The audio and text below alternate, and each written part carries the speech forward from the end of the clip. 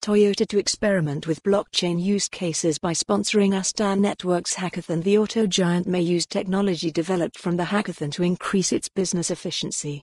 Join the most important conversation in crypto and Web3 taking place in Austin, Texas, April the 26th to the 28th. Secure your seat. Join the most important conversation in crypto and Web3 taking place in Austin, Texas, April the 26th to the 28th. Secure your seat. Automotive giant Toyota is delving deeper into the use cases of blockchain technology by sponsoring a Web3 hackathon on multi-chain smart contract network Astar Network, which could potentially yield management tools for Toyota's employees. Developers will build an intra-company decentralized autonomous organization, DAO, support tool on the Astar network, one of the first parachains to come to the Polkadot ecosystem, which will allow more efficient business decision making and team management for Toyota.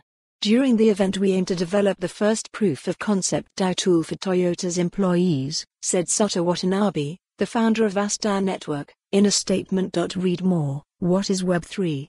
Understanding what Web3 is, and isn't if a good tool is produced, Toyota employees will interact daily with Astar Network, he added, noting that while this is an exploratory stage, blockchain technology and cars are possible in the future. Keeping with the Web3 utilization theme, the hackathon will take place in Cosmize Event Hall, the first metaverse on the Astar network. This isn't the first time Astar, which allows developers to build interoperable decentralized applications, dApps, is collaborating with a large Japanese company.